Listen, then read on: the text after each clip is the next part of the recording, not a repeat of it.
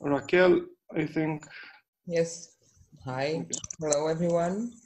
Uh, I, am Raquel Almeida from ISQ, and I will now share my presentation.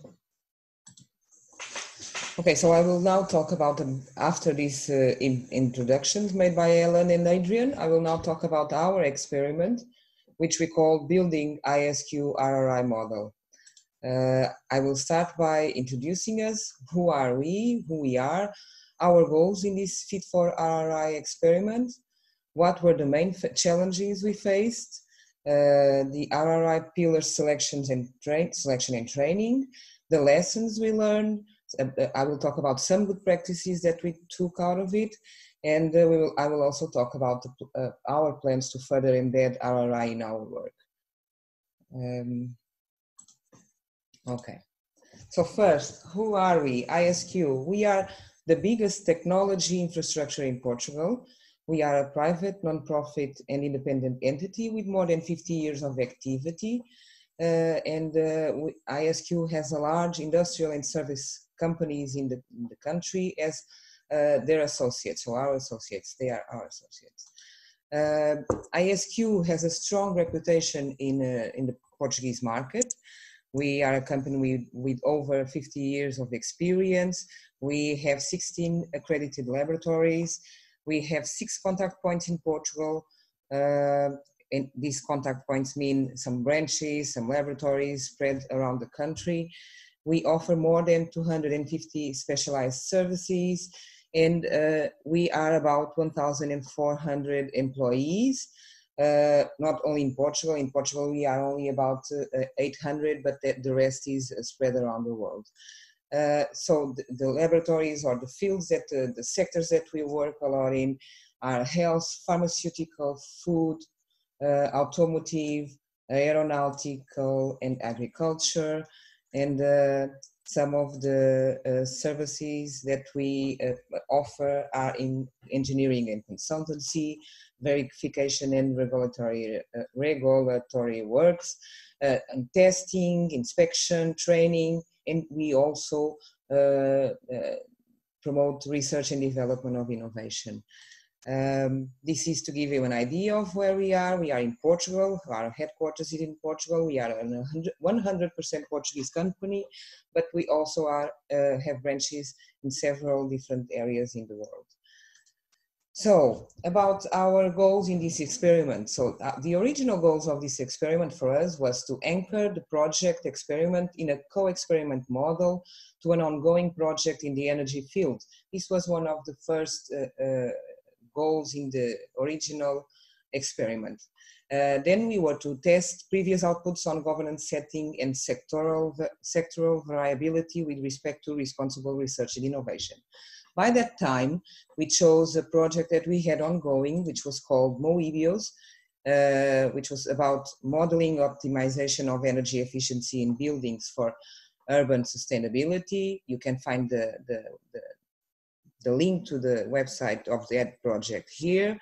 Uh, so this was the original goals. Meanwhile, and during the project, we uh, had a change in our goals. And so uh, we decided to uh, build our own uh, RRI model. So we started building ISQ RRI model and then of course build a roadmap, develop a roadmap to implement it. So these were our new goals uh, during the project. The first main challenge that we faced was the fact that once the Fit for RRI project started, RRI was a concept that was unknown to ISQ. So yes, we were familiar and we were very active in corporate social responsibility, but we have never heard of responsible research and innovation concept. So this was the main challenge, the first challenge that we faced. Of course, the challenge led to a second challenge, which was uh, a big, big learning step. So we had to understand what lies beneath uh, responsible research and innovation uh, uh, concept and also open science because the fit for rri project was focusing not only rri but also open science so this was our second main challenge the third main challenge was an internal diagnosis. Okay, so the project team, in which I'm included, uh, we never heard about uh, responsible research and innovation before, but perhaps some other people in ISQ had. So we had to do this, uh, we had to start this internal diagnosis. Uh, so we chose some uh, key uh, researchers in our institution, in our organization, and we prepared some interviews to ask about uh, what they knew of the pillars that uh, are encompassed in uh, the RRI concept. So we didn't okay, we also asked about, do you know what RRI is? But then we went pillar by pillar about what was their understanding of the, the, those pillars. So we did this first internal diagnosis to know, to have an x-ray, let's say, of uh, what was our uh, status in terms of RRI and uh, open science. Um, then, of course, the fourth main step uh, main challenge in, in our experiment was to get all ISQ researchers on board. In ISQ, and although we are about 1,400 employees, our research team is composed by about 45 uh, researchers. So, okay, we wanted to get everyone on board. So these were the main challenges that we faced. So our strategy was to first promote uh, an internal workshop, a workshop for our researchers, uh, to not calling it uh, RRI uh, uh, workshop, but uh, reflection, joint reflection workshop. we didn't even use the, the term RRI when inviting researchers because we didn't want people to have a defensive attitude. Like if you say, let's talk about doing responsible research and innovation, we cannot uh, assume that people are not doing responsible research and innovation. So it's not a good practice, in our opinion, to uh, start by, for people that never heard about it, to let's talk about responsibility and doing our jobs with responsibility. It's not about that. So we, we invited them for a joint reflection. And uh, ISQ had the team, several team of researchers spread around the, the, the, company. So we were not together. We were working in, uh, in groups, uh, separated groups. Um, so this joint reflection was very important. And when we did this first invitation, and because everyone is always so busy, well, the most heads of units or heads of units of these groups, of these research groups, sent uh, junior researchers. So these were the first groups, mostly junior researchers were in this first workshop. Well, the first workshop went so well, it was uh, such a success that uh, one of the senior researchers that was uh, in the group said, well, sh we should do this again. You should do another workshop and now ask senior researchers to come. And that's what we did. Uh, we invited senior researchers to come. Uh, and then we had a bigger group again. Another workshop was promoted, the same, the same model, and then we had most most uh, researchers from ISQ involved in the process in the, these workshops. And in these workshops, we would first start by reflecting on what we were doing, on what was going wrong, what was going uh, not so well, and uh, then doing a very, very short presentation on what RRI is about, in 10 minutes. That was one of our challenge also to try to present responsible research and innovation concept, concept in 10 minutes. And there it was. Okay, so and then we had in the in the scope of the experiment, we had to select at least two pillars. That was one of the requirements of the experiment. So when we were asked to choose these two main pillars and before the, the workshops, we decided to go for governance and open science and open access. So we wanted to tackle these. We wanted to approach these to cover these uh, two pillars. But after these these workshops and after our internal consultation of after jointly uh, reflecting with all the researchers from ISQ, we then decided and taking into consideration the concerns that were raised during these workshops, we decided also to go and explore also public engagement, science education, and gender equality. So these were the pillars that we wanted to cover in our experiment. Um, So we uh, started preparing uh, a set of training sessions. And the first training session that we promoted was a session about open science and open access. For that, we invited Pedro Príncipe, which is from the University of Minho, which is also a partner in Fit for RRI project. Uh, the University of Minho is, is an expert. They are experts in open science. And so they, we thought they were the best people to talk about and to give a workshop on what open science and open access is. Uh, first of all, to uh, set a little bit the differences between the two, these two concepts, open access and open science, and then to explore what this, this means, what open science means. And uh, so this was the first workshop. Uh, the second workshop, no, meanwhile, sorry, meanwhile, uh, during the process, um, ISQ uh, went through transformation. Well, at least the research and development of innovation activity went through a, a, transformation. So first, in beginning of the experiment, we had these different and separate groups of researchers, of the teams of researchers working separately in different types of uh, uh, research fields. And then during the process, uh, a new uh, research and development of innovation department was created. And uh, this was a, very big surprise for, for me, for, in, for instance. Uh, I was part of one of the groups of the researchers, so it was a big change. And for us, the timing was perfect because then we had everyone aware of uh, re, uh, what research and, in the oh, responsible research and innovation is and open science, and we had started the process. So, and the new director of this uh, new department uh, was, before this new department was created, he was one of our colleagues. So he was completely involved in the experiment. And so he took the decision to embed RRI in the new department vision and mission. And so this was very, very important, of course, for the success of our experiment and, and I believe for the success of this new department. So we had first had the first uh, training workshop uh, on open science and open access, and then the second second workshop was on governance. And since we are spread around the country, yes, we had the first uh, big workshop uh, involving all researchers or most of the researchers of ISQ on governance and uh, trying to figure out what makes more sense for us in the in the in terms of governance uh, and taking into account also uh, responsible research and innovation and open science. So we had uh, several sessions of uh, joint reflection to, to decide on how our governance model would be.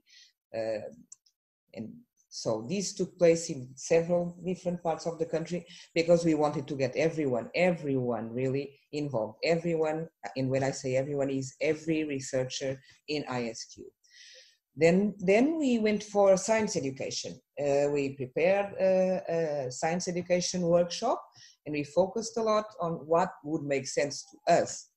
Um, and this was very key, the, the, what makes sense to us. Let's not forget that we are a private company, we have no public funding, so an RRI model for ISQ had to make sense for ISQ, to ISQ. So this was our uh, strategy lessons learned. So what we, we learned from this was that uh, these uh, first workshops, the two first workshops, the joint reflection sessions, were key to get everyone involved.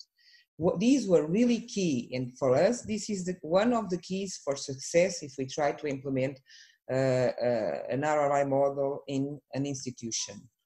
Uh, the second lesson learned was that uh, actually researchers don't usually think of the things that uh, are involved in uh, re responsible research and innovation. So researchers, in these workshops, researchers were faced with issues and ideas that are not usually on the table in their professional lives and work routines. Uh, yeah, we are all, all, all, also, all, oh, sorry, we are all always so busy. So it, it happens. We sometimes we don't have time to reflect on actually what we are doing and what we are working on. So these uh, workshops were very important also to think and reflect in a joint uh, session on these things. Third lesson was that tailor-made training sessions on the selected pillars constituted an important uh, awareness raising action, but are also very important for um, an organization institutional change. It has to make sense for, for the organization. So perhaps some things that are included in the pillars uh, make a lot of sense and are very, very close to uh, the, the, kind of activity that an organization promotes, and some others are not uh, so suited to or not so close to uh, the activity that the, the, organization or the research activity that the organization uh, entails. So tailor-made training sessions for us was also one of the lessons learned. It's important. It, it's very important to make it uh, for the needs of the organization and for what makes sense for the organization. A fourth lesson learned was that, uh, and this was one of our visions and one of the visions that we wanted to pass, is that RRI, responsible research and innovation, is a way of doing uh, research and development of innovation using a long-term perspective. And this is in terms of the kind of world we want to live in. So that's why we believe it's so important. We have to think of the long-term perspective. We think we have to think of the consequences of the innovation that we are uh, working on. And this is very important. And this was also a lesson learned for us. And uh, last but not least, one of the most important lessons learned in this experiment for us is that responsible research and innovation is a flexible model it, this is not it's not a concept that uh, or it's not a model that uh, one size fits all. No it's it has to make sense for the organization that it's applying it that it's implementing a model that it's embedding embedding this in in their way of doing uh, research and development innovation. Those, so these were the main lessons learned with this uh, with our experiment. Good practices in our opinion in in, in our uh, experiment was that the selection of pillars was done based also on the concerns of the researchers. So it's not only one, one person or two persons or a small team of persons thinking of what is most important for the organization. It's about listening to all the concerns or to the concerns of the researchers and then taking a decision on what are the pillars that are most important to uh, cover or to approach in an experiment such as ours. Um, another good practice for us was uh, that the training sessions on the selected pillars uh, constituted an important awareness raising action and again they were tailor-made and uh, we consider that we are planting the seed uh, so it's not that we will see the results of what we were doing in the last months, a year and a half, about two years. It's not that we will see the, the change immediately. I, I believe that responsible research and innovation for a company such as ours that had never heard about it before, uh, a change takes time. So we believe that we are planting the seed and we believe that the results will come out soon. Uh, in terms of our plans to further embed uh, responsible research and innovation in our work, so we are building our uh, responsible research and innovation implementation roadmap. Uh, we want to engage more with the society, although we do with some of the quadruple helix uh, actors, perhaps we do, are not so successful with others, so we want to be better at that, and that's why, and we will also use the public engagement uh, pillar on that uh, in that sense.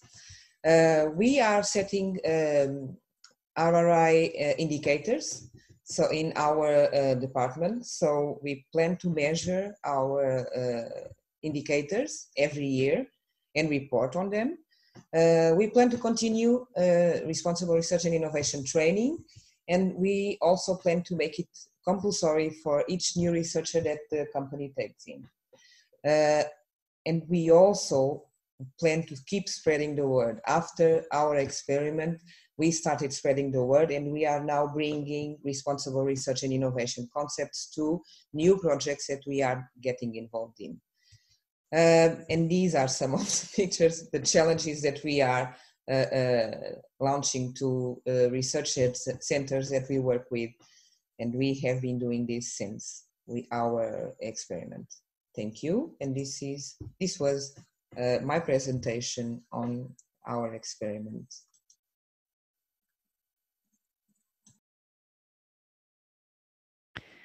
Thank you very much, Raquel.